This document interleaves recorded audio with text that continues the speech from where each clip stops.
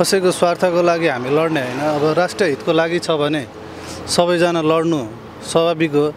यो यस्ता खालका गतिविधिहरू चाहिँ जनताले एकचोटि चाहिँ सास फेर्ने मौका पाएको थियो।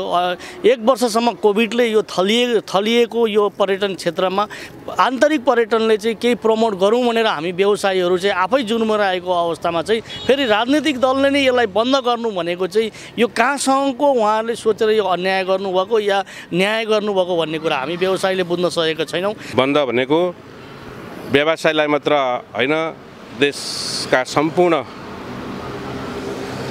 व्यवसायी कर्मचारी कृषक सबैलाई नराम्रो कुरा हो। बन्द भनेको देशलाई दैनिक रूपमा पछाडि धकेल्नु हो। अब यो बन्द हुनु राम्रो होइन बन्द गरिनु राम्रो पनि होइन। अब यो बन्दको विरुद्धमा चाहिँ जनताहरू उद्योगीहरू व्यापारीहरू एकजुट भएर यसको प्रतिकार गर्नै पर्छ। किनभने योभन्दा अगाडि पनि कोरोनाका न्युमा मुलुकमा यो बन्दले ठुलो असर गर्यो मुलुकलाई। त्योभन्दा अगाडि भूकम्पले मुलुकलाई धेरै असर गर्यो। अब यसरी राजनीतिक दलमा खिचातानी हुन्छ आफ्ना कुराहरू चित्त बुझ्दैनन् नगर्दाखेरि देश बन्द गर्दाखेरि राज्य झन् मुलुक पछाडि पर्ने भएर चाहिँ यसको चाहिँ तपाईँको विरोध गर्नै पर्छ। अब आजको दिनमा इटरीको जुन एउटा घोषणा भएको आम हडतालको विषय चाहिँ यसलाई यसलाई मध्यनजर गरेर भन्ने हो भने सुरक्षा अवस्था सामान्य नै छ तपाईँहरूले देखिराख्नु भएको छ।